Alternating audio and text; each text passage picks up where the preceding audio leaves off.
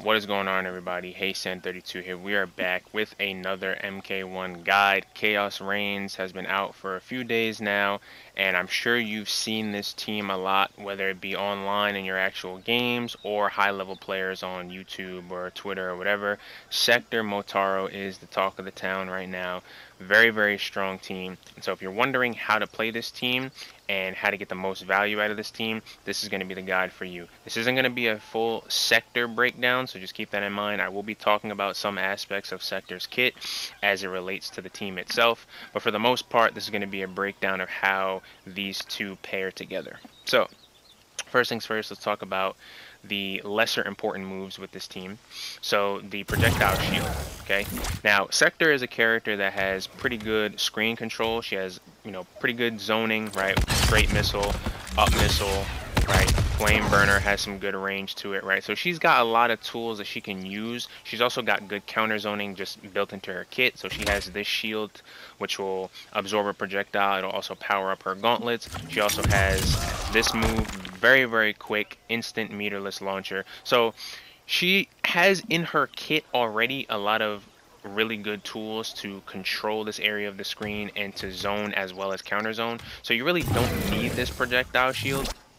However, some instances there are some projectiles that are, you know, very fast projectiles, such as like a Liu Kang EX Fireball, right? It's gonna be kind of difficult to react to that with some of her moves. So in that situation, you can use Motaro's Reflect Shield to get a, uh, to even get a punish in that instance. Like it's so fast, it'll reflect and punish him for throwing out his projectile. So you can use the shield in that situation. Um, and there's a few other situations where you might want to use his reflect instead of her projectile uh, absorb. But other than that, she really has her own built-in answers to zoning and you know being able to counter zone on her own. So you really don't need that. Um, the low shot. So with the low shot for uh, Sektor, so typically speaking, a lot of characters get value out of Motaro because of the low shot because it aids the pressure game, right? So if you can find a way to jail or condition your opponent to respect the low shot, right, then you can start getting your pressure going and it really helps out with a lot of characters offense right? Sektor doesn't really need that because she can use her missiles to set up set play and then she can use motaro teleport to basically get in and get guaranteed pressure on oki or whatever the situation is. So she her offense is a little bit different and on top of that right she doesn't really need to be approaching the opponent all the time and pressuring them because she has such good zoning and keep away tools you really don't need to rely on this to really start your offense. So the low shot is not as important for her. Now what i will say is that you can jail stand three into low shot. That's guaranteed. There's no gap in that. And i'll just show real quick that there's no gap in this. Right? So i didn't show the armor, but just you can see the special doesn't come out anyway, so uh, there's no gap in that, right? They have to hold stand 3 into low shot. Now, with the pushback on low shot, right, you're really not going to be getting anything guaranteed here, right? So you can check them with forward 2, which is forward advancing mid. Um, they're not going to be able to really jump, press, back dash, but they can always armor through that. So her pressure off of the low shot is really not guaranteed unless you're in the corner. There are some other buttons that you can cancel into low shot if you think your opponent is going to be respecting you. For example, like back 3-4, that string is completely gapless and safe on block, so you can use that string as a meaty check a lot of times too, just because the first two hits break armor. Um, so if your opponent is respecting that, you can always sneak in like a little cheeky low shot there, uh, just to, you know, get some pressure there too. But again, same thing, you can see the spacing that it puts me at. I'm not really getting anything guaranteed. So the low shot, you can also use it like to aid her zoning too. So like if I'm at this range, I can stick out the low shot just as something to, to check them with. Um, because you know, from this range, you might be you know, shooting a lot of missiles and stuff like that. Um, doing like you know your instant air missiles. So this little you know quick low shot just to check them from trying to duck in neutral is also really good as well. But yeah, that's pretty much all the value you're gonna get from the low shot. Um, and then getting into the triple projectiles. So with the triple projectiles, um, kind of similar to the low shot, doesn't really need it for anything specific. Um, she just her kit by itself is just so strong. Like a lot of what she really needs. Like a lot of her game plan is really just built into her kit already. Um, but the triple projectiles you can use to aid in your zoning. So you can, you know, dot the triple projectiles and then start zoning. And it's just, it's so much, so many projectiles on the screen. You're going to be building so much meter and the opponent has to respect it. She has ways where she can set that up guaranteed as well. So if I do something like this, right? Like that's a guaranteed triple projectile setup. There's literally nothing that they can do. By the time they even get up, the first projectile is already out. Um, so let's say, for example, like I get a hit and then I want to like kind of lame my opponent out to win the round. Let's say they don't have much health left, right? I can do that, set up the triple projectiles, and just chip them out for free. Um, you can also use it to get into if you, if you really want to. So you can call this out and then just kind of, you know, teleport in behind them and just they really can't do much about that. So, right, like there's really nothing that they can do. If you time that right, the projectile is going to come out and basically keep you safe, and now you're just in for free. Um, I wouldn't recommend doing that because you don't have to do that, and that spends all your Kameo bar, but you could do that if you wanted to. Um, but yeah, so that's uh, pretty much the triple projectile. And then the most important move is the teleport. The teleport serves a lot of purpose for her, so we're going to break down the teleport. So with the teleport, um, so all of your like standing meterless damage before you go into your launch, you can extend all of your combos using either flamethrower into Motaro teleport or EX straight missile into Motaro teleport and get uh, extended damage on all your combos. So for example, let's say I get a jab punish, right? I can do something like this.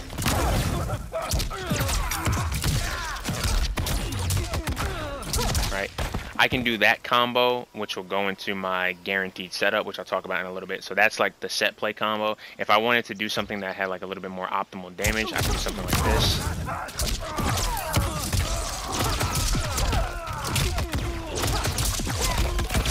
Right, that's about 36% meterless. Again, uh, most of my Kameo comes back by the time that combo is over. Uh, you can also do it with straight missiles, so I can do something like this.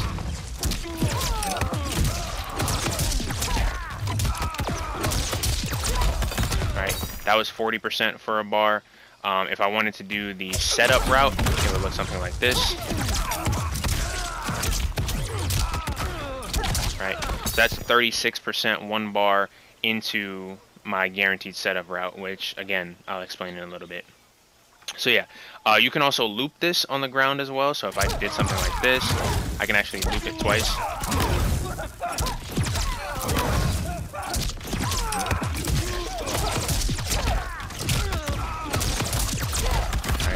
And that's 42% meterless um, off of two reps of flamethrower into Motaro teleport. So yeah, so all of your combos you can extend the damage on them if you use flame burner or EX straight missile into Motaro teleport, keep them standing and get the extension.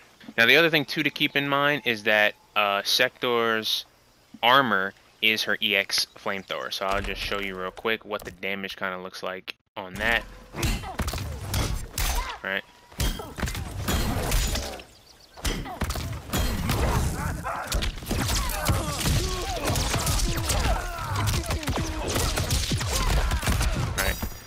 So almost 24% for an armored launcher is not bad at all. So yeah, that is her. And you can also do the um, the setup route off of the armored launcher as well. So that's pretty good for her too. And now the two most important things that teleport gives you. First and foremost, teleport gives you safe mix. Okay, so Sektor has a low, which is her back three, and she has an overhead which they're back to. Now granted the overhead is slow, it's reactable, but especially online and especially when you have thrown out other options at your opponent, that overhead is going to clip them at some point, right? Especially if they're not like really looking for it. Now, if you have somebody that has really good defense and they can react to it every single time, right, they're not going to get hit by it. But people are going to get hit by it eventually. And the beautiful thing about Motaro is that because I can cancel. So the thing with her low and her overhead, right? This low string here, right? While it is safe on block, doesn't have any gap in it, right? You can special cancel after the first two hits, but as you can see, it leaves the opponent airborne. So I can't do a combo like that. I can't do something like that. Like none of that links, right? You would have to use a Kameo to combo off of this, okay? And off of her overhead string, which is back to two, you can see that string is, is really bad. So this string is not special cancelable. It's punishable on block, right? And you would have to use a Kameo to combo off that as well. So going back to what I was going to say originally, because I can combo off of my flamethrower, right? Off both the low and the overhead option, in order to actually have like a real mix-up threat, I'd have to commit to something. Because I can commit into meterless flamethrower and then use Motaro to teleport and get a conversion off it, right? As long as I have Kameo, I can go for a mix-up in that situation and commit to it.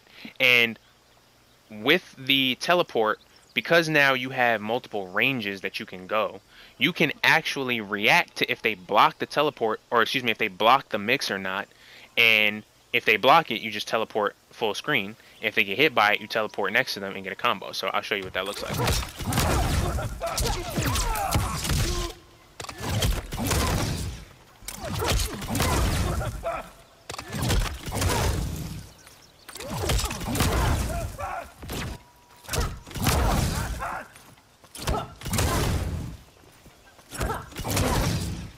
right? So you can react to if they get hit or if they block or not. And if they block it, you can just leave.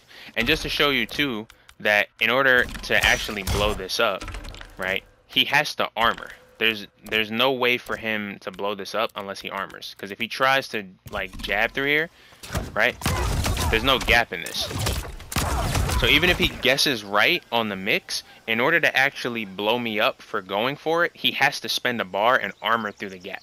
Right now, if you're playing against somebody that has an armored launcher, you know, you do have to be careful there. But also, let's say for example, your opponent knows they can blow it up, right? Back three is safe on block, and back two is also safe on block, right? They're both negative six. So if you're, you know, at that next level, you can actually bait that and get a full combo punish because they can't punish the actual buttons themselves. You have to commit to the flamethrower in order for them to be able to armor through it and punish you. Right now, obviously, if you're going for the mix, you're probably going to commit to it, so that's not something that is probably going to happen all the time. But, you know, just in case your opponent is blocking the mix and then armoring and you notice that next time you go for it you can just throw out a mix up button and then just block and if he tries to armor right you can actually bait out his armor and punish him because both of those buttons are safe so that's just like a next le- uh, next layer of mind game there but if you go for the mix and they get hit teleport behind get a full combo they block it you just leave and that brings us into the set play now, the mix-up piggybacks right off of the set play because once you do your setup, uh, you can then go for a mix-up there off of the guaranteed setup. Um, but it does require a bit of conditioning. The setup itself is guaranteed, and you can jail your opponent after that. But in order to actually get the overhead to work, you do have to condition your opponent a little bit.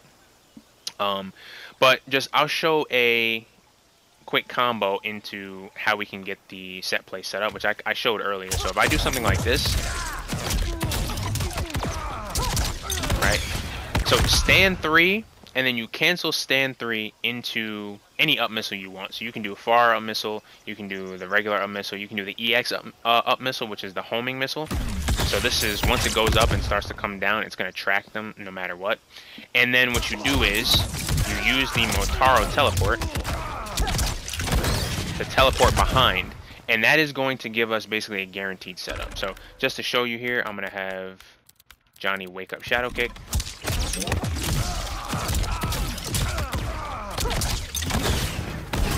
Right? Nothing he can do. I'm going to have him uh, block the missile and then try to press or try to armor.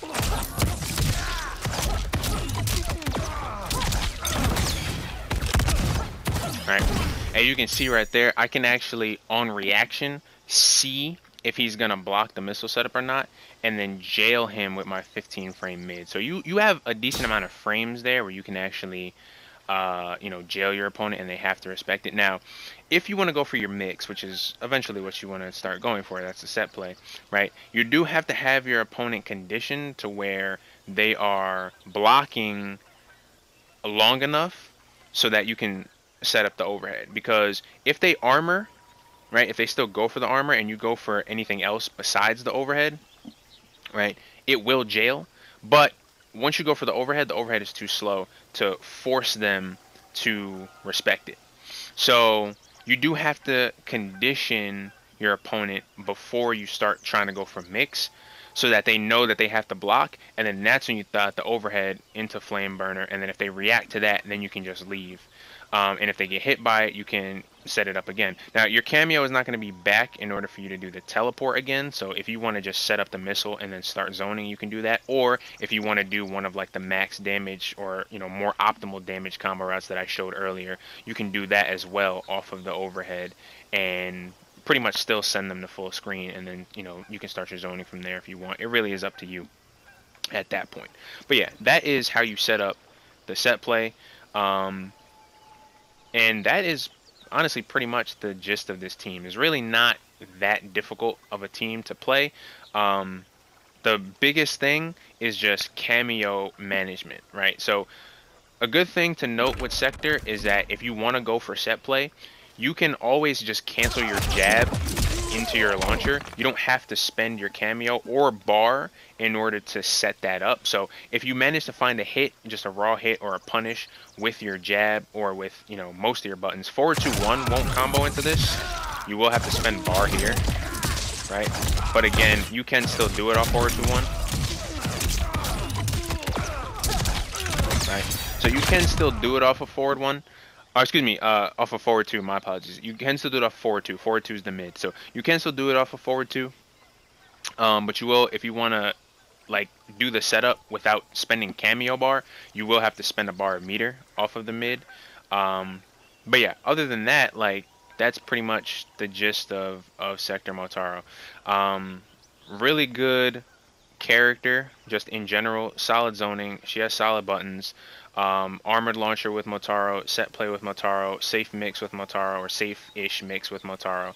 Um, Motaro gives you a lot of good things. Now, one thing I will note is that Kung Lao, if you choose to use Kung Lao, you can do a lot of the same combos and setups as well. The problem with Kung Lao though is that Kung Lao does not allow you to get your safe mix, right? Because if I do back three or back two and you block it and I go into Kung Lao teleport, you can actually punish the Kung Lao teleport. You can't punish the Motaro teleport. So that's the reason I would say Motaro is slightly better. But Kung Lao does have good things, right? Kung Lao can also give you like meterless combo extensions as well. Um, pretty much all the same stuff that Motaro does as far as like the extended combos and getting your set play going. It's just that one little thing with the mix that I think Motaro is better. Um, but yeah, without further ado, that is the end of the video. Hope you all enjoyed the guide. I will try to make a guide on Noob Saibot. I think I'm going to do Noob Saibot and Janet Cage. I've been seeing a lot of that as well. So for the people that want to know how to play Noob Saibot Janet, I'll probably make a guide on that soon. And Cyrax, I haven't looked too much into Cyrax, but uh, I'll see what's out there see what I can come up with, and then I'll give you guys a guide on that as well. So thank you all for watching, and I will catch you on the next one. Peace.